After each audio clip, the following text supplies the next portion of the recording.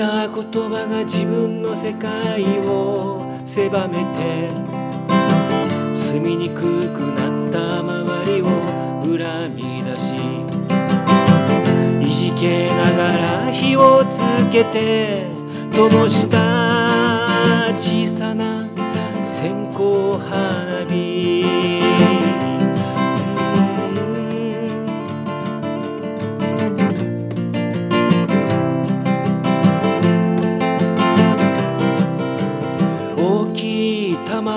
作ろうと思ってもすぐにポトンと落としてしまうんだ。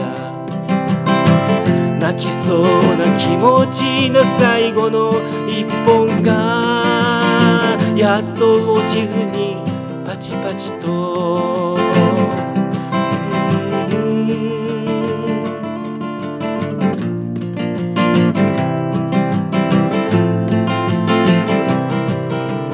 その時何もかも忘れて笑ってた。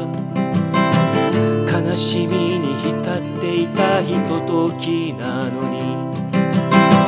人生とはこんなものじゃないかと幼心に思ってみたり。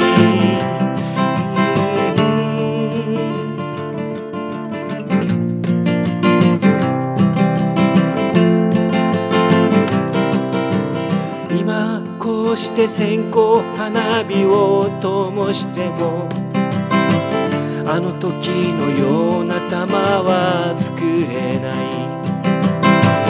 人生など考えることもないけれど思い出はいつも光の中に。